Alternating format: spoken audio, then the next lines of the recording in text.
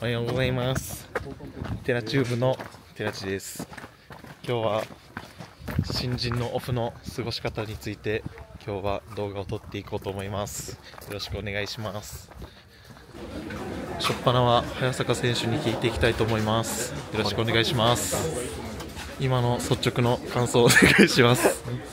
率直な感想、うん今？うん。ないよねないねまだ。まだないね。でもでも大丈夫ですよ。黒はやめよはい。あ、切れてる。う自分緑ラッキーから出す。今年？いや今年っていうか常に。常に？あのグローブにも緑入れたんですよどうですか今日？初めての休日ですけど。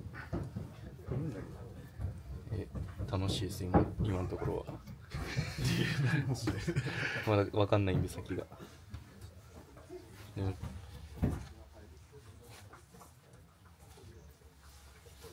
どうですか？第一クール終えて。今日は休日ですけども。一安心って感じじゃないですか。一安心っていう。とりあえず。とりあえず。やりきった。やりきりました。もう最年長ですけど新人では。いやーあん中入ったらもう全然若手ですよ。新人ではって。では。では。いやもうブルペンにも入って。はい。ここまでどう？いや順調に来てます。いい感じに投げる。いい感じです。いいなあ羨ましい。えっとうちのですね。あでもあの皆さんにはなっちゃう。なんか似合ってるコンセプトははい。諸葛亮孔明です すごいエロいなお前始めて？うわなんかいいわ。どう？女の子うわ男前よ。どうですか？コンセプトは？お色気モードで。色気モードで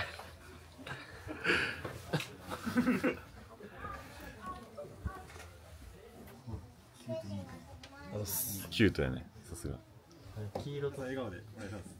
いただきます。はい。谷さん。谷さんどうでしたか？着付け。人見たら楽しかったます。か？意外といいっす。ね。五人で撮れたんで、僕も結構満足してるです。はい。また同期で取りに行こうそうです。ね。ありっす。ね。今度。はい、ここに来てまたまた登場。早坂音くんです。ごめんなさいね、何度も何度も。お願いします。どうでしたか？着付け体験は。楽しかったです。楽しかった以外の言葉が僕は欲しいです。もっと。いやーいやみんなのはい。あのー、面白い格好見れたんでようん。かったですキム。キム。近いあいいいいいいいい近さ。いいいい笑顔。いいいいいいいいいいい笑顔しかないの。いいアニヤやってアニヤ。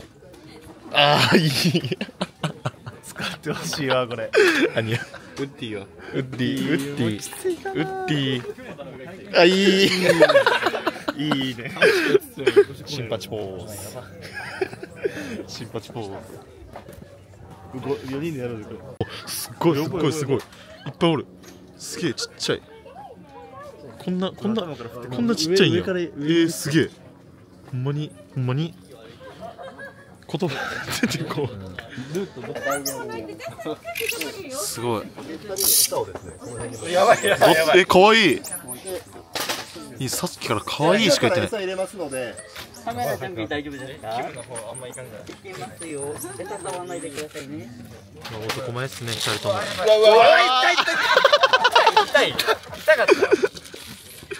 どうす？どうしたか？リスザルの体験は？かわいいっすじゃあなんかそのリスザルのここが好きだっていうのを教えてください。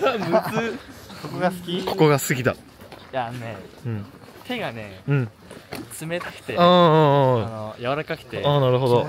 いいいいいい、いい。ね。そういう感想待ってました僕。重さもちょうどいい。うんうんわかりますわかります。肩乗ってる時とか、はいはい、かわいいっす。ああなるほど。ちょろちょろ動いてる感じとか。なるほどね。Q さんは？リスザラのここが好きだ。ついね本当にそういうのって。俺全部言っちゃったか。うん確かに。でもなんかテラチの幼少期みたいでかっこよかった。おお確かに。幼少期写真こちらです。乗 っけないけど。乗っけない。けど悪いものを追い払ってくれるんですが実はさらに口を開けて通りの外から服とかなく吸い込んでくれるでもそのままだとどっかに飛んで逃げちゃうので飛んでくる海流。作ります海流色？はい。お。お願いします。キュートが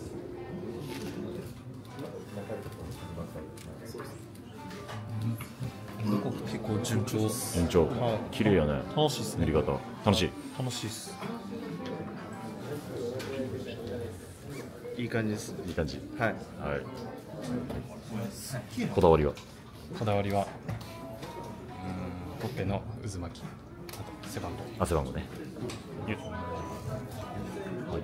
こだわりは？この自分がつけた花飾りをモチーフにして耳をかけました。あそういうこと？はい。ポイントは？さっきの自分の着付けをイメージしたのとはい。ちょっと八重丸くんをイメージして八重丸くん気に入ってますそうですね八重丸くん気に入ってます。はい。はい。ポイントは？自分の好きな海流をモチーフに作りました。すごいね。色味も。いやもうちょっとできそうですね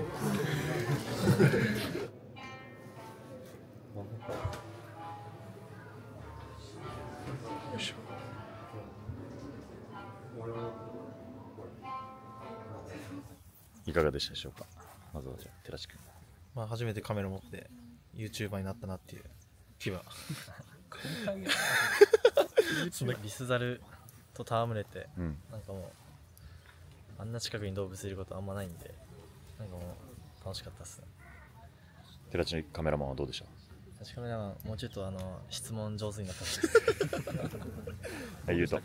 それ全部初めての体験だったんで、はい。とても充実して、まあ、思った以上に楽しかったなって思います。あよかったです。はい。